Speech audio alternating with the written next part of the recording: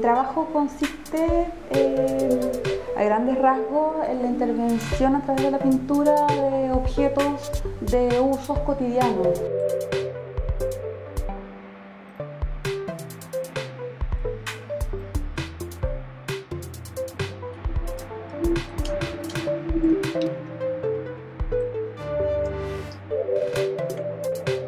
La decisión de hacer una barrica una pieza de arte es una decisión bastante arbitraria y solo se valida un poco como por, por, el lugar donde se pone. Entonces tú le pides a un artista que haga algo y eso se transforma como en pieza de arte.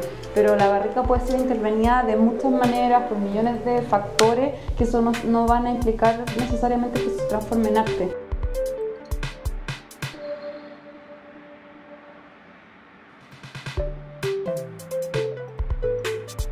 En la mosca, en su reiteración, apela un poco a eso, como a una especie de plaga o de ligera contaminación que para mí tiene que ver como con la noción de una contaminación eh, artística, como la atribución de un significado a partir de una pequeña operación.